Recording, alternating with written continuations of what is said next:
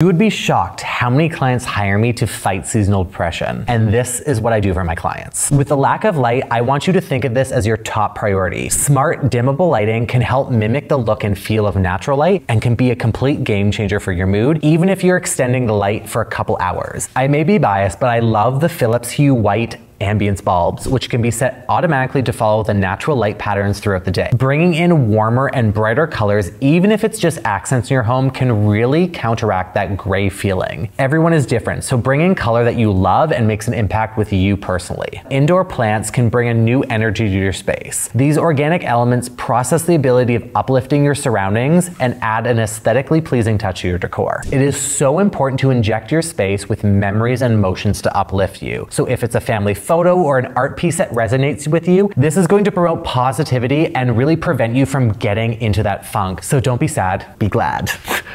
oh my God.